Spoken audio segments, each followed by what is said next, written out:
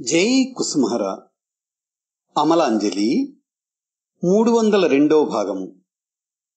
March పంతొమ్మిది వందల ఎనభై మూడవ సంచిక. ఈ సంచికలో ఒక శీర్షిక సంపాదకీయము విజయం. మనం అనుకుంటాం ప్రభువు మనకి కష్టాన్ని తొలగిస్తే ఈ గండం గడిస్తే తలముండనం చేయించుకుంటామనో నిలువు దోపిడీ ఇస్తామనో పూజ చేయిస్తామనో. ఇలా అంటే ఏదో రకంగా ప్రతిఫలం ముట్ట చెప్పుకోవడం అన్నమాట. ఆ విధంగా ప్రభుని దివ్యశక్తిని ఉపయోగించుకొని మన కష్టాలు తొలగించుకోవాలని మన ఉద్దేశ్యం. కష్టాలకు తట్టుకునే శక్తి లేదు. అవి తొలగిపోతే సుఖం దక్కుతుందని ఆశ. అంతేగాని జీవితంలో లోట్లు కష్టాలు వస్తూనే ఉంటాయి. తట్టుకోగలగాలి అనే భావం మనకు రాదు. కష్టం కలగ్గానే ప్రభువుని తలుచుకొని పిలుచుకొని ఈ కష్టాన్ని ఆయనకు అప్పచెబుతున్నాం అలా ఎన్ని కష్టాలు ప్రభువు వైపుకు నెడుతున్నామో ఒక మారు ఊహించుకొని చూద్దాం. మనమే కాదుగా ఎందరో మొక్కులు మొక్కుతూనే ఉంటారు. ఎన్నెన్ని బాధలను ప్రభువుకు అప్పజెప్తూ ఉన్నారంటే ఆ ప్రభువుకి ఎన్ని కష్టాలు. శ్రీ హరప్రభు చెప్తున్నాడు జీవులు అంతులేని విధంగా ప్రభువుకి కష్టాలు పెడుతున్నారు. భక్తుల కోసం ప్రభువు భక్తులకు ఇష్టం లేకపోయినా అంతులేని యాతనలను అనుభవిస్తున్నాడు అని. ఇక ఆలోచించండి. ప్రభువు అంతులేని యాతనల్ని అనుభవించటానికి కారణం ఏమిటి?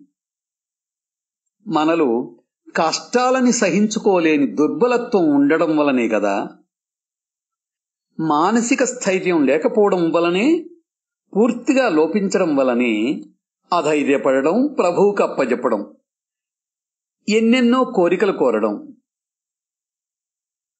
ఒక్కొక్కరు తమ కోర్కెలు తీరకపోతే భగవానుని తిట్టడం కూడా జరుగుతుంది. కఠినుడు నిష్ఠురుడు ఇలా ఎన్నెన్నో మాటలు అనడం కూడా జరుగుతుంది.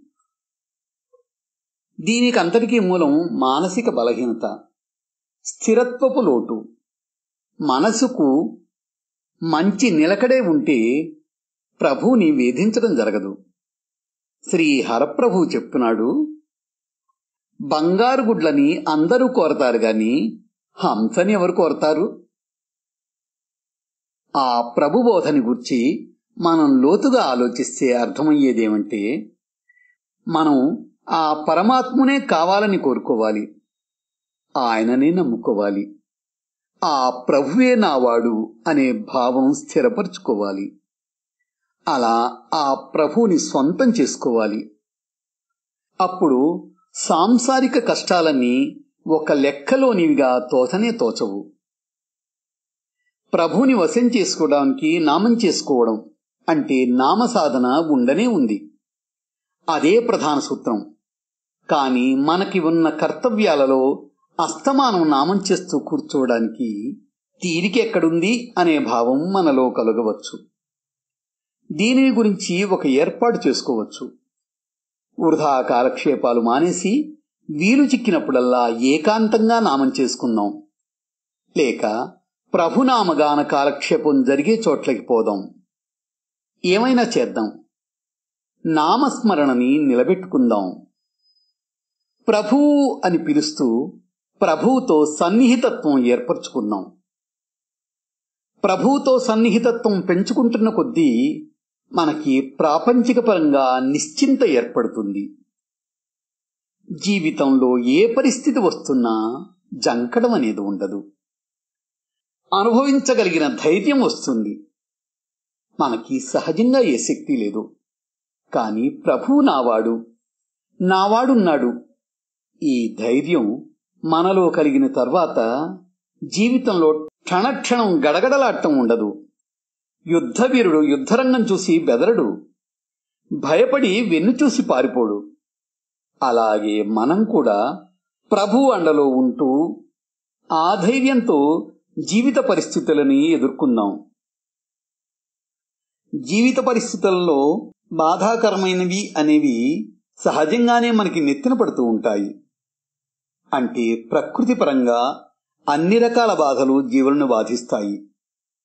ప్రభుధ్యాసలో ఉన్నవారికి ప్రభుభావంలో లీనమై ఉన్నవారికి వాటిని అనుభవించటం తేలికవుతుంది.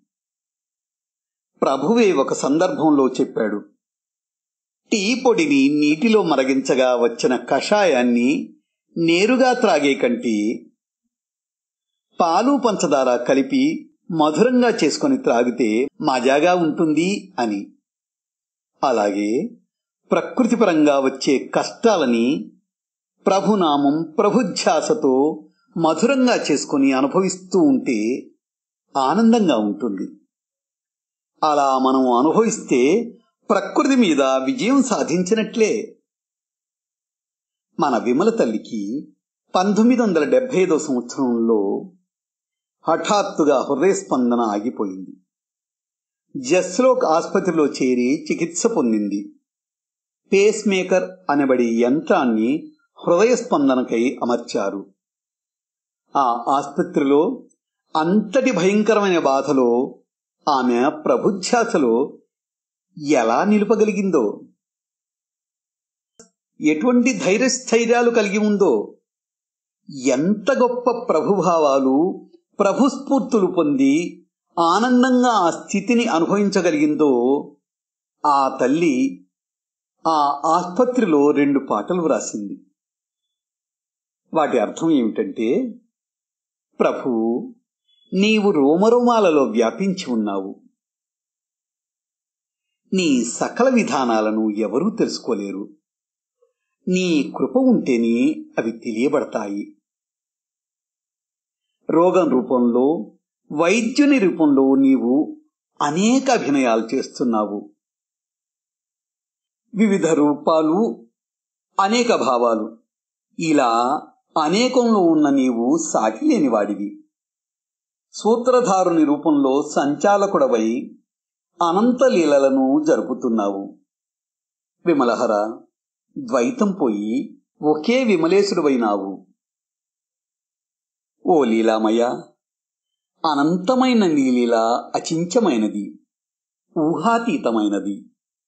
రోగ రూపంలో వైద్యుని రూపంలో నీవు ఎన్నెన్నో నటనలు చేస్తున్నావు. అనేక రూపాలలో నిన్ను చూస్తున్నాను. కానీ ప్రాణేశ్వర ఈ అంతరంగంలో నీవు ఒక్కడవై ఉన్నావు. ఘడియలో అస్థిరత ఘడియలో స్థిరత అయినప్పటికీ ఈ హృదయము సుస్థిర ఆనంద నిధానము. అకారణ కృపానిధి నీవు మధురానంద దాతవి. కాబట్టి నన్ను ఏకాంతకమైన పరమభావంలో లీనం చేసి ఉంచు. అని దాని అర్థం. చూడండి. విమల తల్లి ఆ సమయంలో ఎలా ప్రభుభావైక్యత పొందిందో అదే సమయంలో ఆ తల్లి ఒక వాక్యం వ్రాసింది. మానవుడు ప్రకృతిపై విజయం ప్రాప్తించుకోవాలి అని. ఆ వాక్యానికి ఉదాహరణగా తన జీవితాన్నే చూపించింది ఆ తల్లి. అదే మనకి ఆదర్శం. అదే మనకి బాట.